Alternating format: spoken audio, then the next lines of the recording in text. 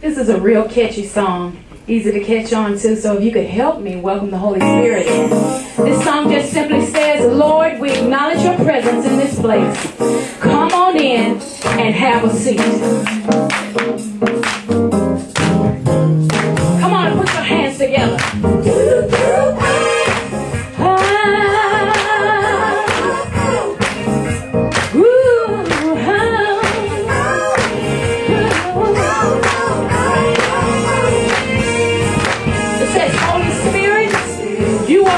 Come on in.